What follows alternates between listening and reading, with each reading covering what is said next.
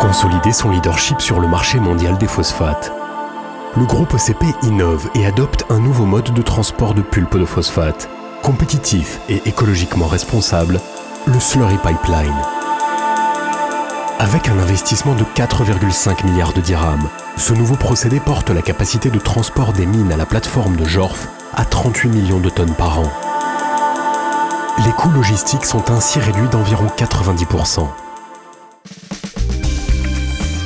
Longueur totale de 235 km, le Slurry Pipeline révolutionne l'ensemble de la chaîne de valeur des activités industrielles du groupe en assurant une intégration entre l'amont et l'aval.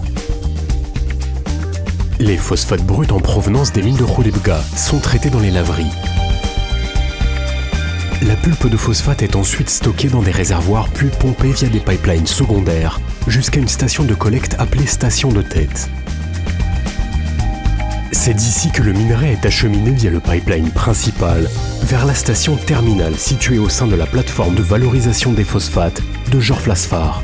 Cette station se compose de 8 tanks de stockage de pulpe d'une capacité totale de plus de 50 000 m3 et d'une salle de contrôle. La construction du pipeline a mobilisé plus de 50 entreprises sous-traitantes et près de 800 machines. Il a généré 250 emplois permanents et 1,7 million jours hommes durant la phase de construction. Véritable prouesse technique et technologique, les opérations de crossing ont permis de faire passer le slurry pipeline sous près de 65 routes. L'autoroute Stat la voie ferrée et le fleuve Oumarbia.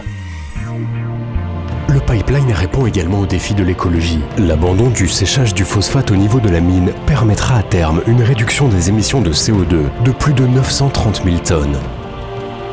Par ailleurs, le pipeline permet d'économiser plus de 3 millions de mètres cubes d'eau par an.